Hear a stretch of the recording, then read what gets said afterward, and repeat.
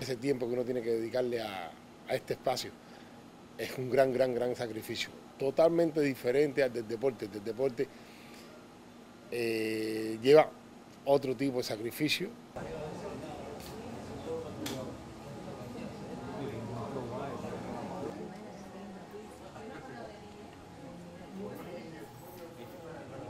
Y ella fue tan boba que no te lo dijo.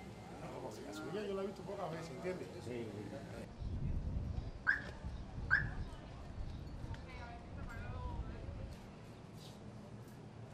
Oye, él está enseñando con nosotros, ¿sí?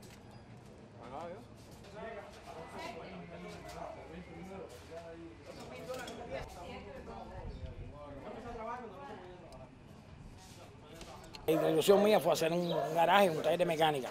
Y tuve la posibilidad de conocer unos mecánicos muy buenos.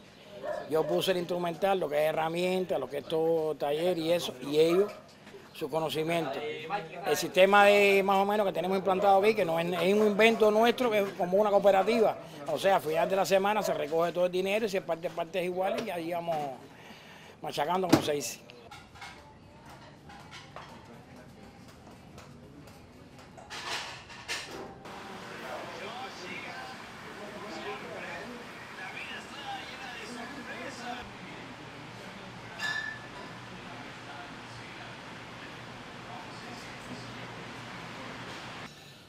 Verdaderamente es mucho más difícil esto que, jugar voleibol y ser además capitán de un equipo, aunque yo trato de hacer también un trabajo de equipo aquí adentro.